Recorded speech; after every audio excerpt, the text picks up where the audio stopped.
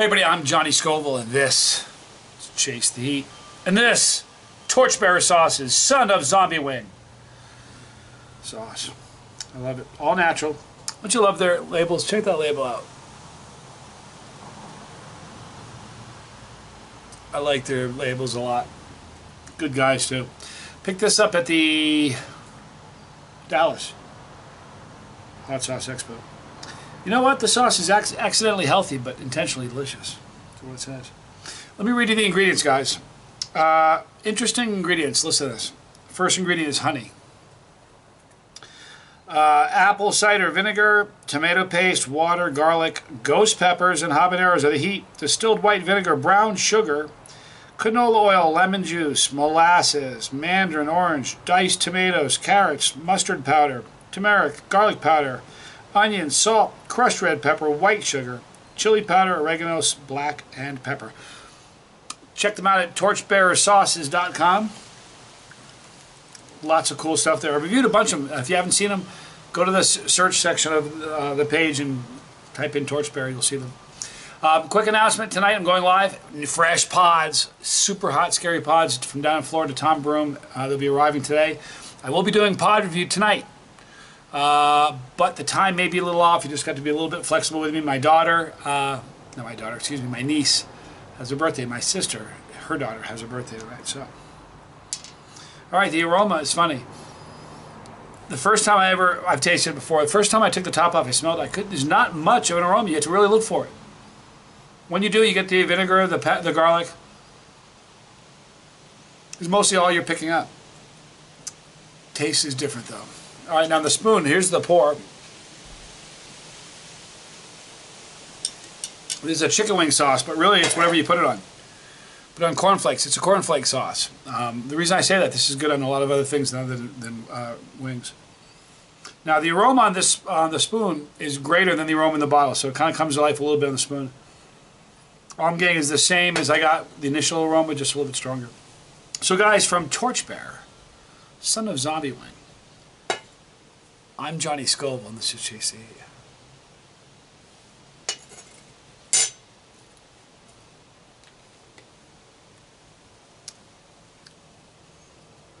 I really like this sauce. You know, the first thing that uh, hits me is this beautiful sweetness from the honey and the molasses, the brown sugar.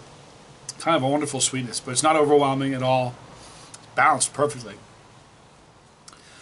Love the black pepper a lot. It tastes great.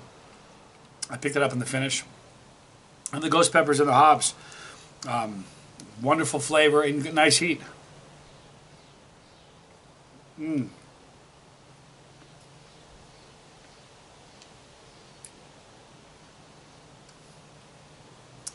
A little bit of citrus from the lemon juice. It's such a nice sauce, though. This would be so good on wings, ribs, just about anything else you can think of. We got on a burger. Super tasty. Uh, Mechanicsburg, Pennsylvania, is where they're located.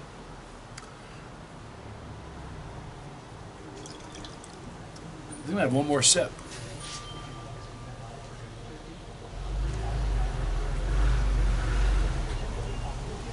Delicious. So, um, the black pepper is really, really important to this this sauce to me. Crazy flavorful. Now, let's talk a little bit about the burn. You know, it's only got Ghost and Habs in there. They're not the highest thing on the list, so it's not going to hurt you. I think for somebody, who, if you're at the Scoville table and you don't need anything hot, but you want to sample this, you'd probably find it to be like maybe a 7. Might feel a little bit hotter, but it's probably going to be like a 7. If you're a nine, if you're somebody who's chasing the heat with me, we're doing it. Um, you probably only find this to be about a 5. Really flavorful though. As far as flavor, I don't give flavor rags, but boy, if I did, this would get a good one. Love the flavor of this sauce. Um, guys, if you haven't tried Torchbearers yet, you need to. A, they're a great sauce company. You'll see the link in the description box below. If you're somebody who's a fan of Torchbearer already, um, go to the comment section. Let me know. Love it. Wow. Really tasty.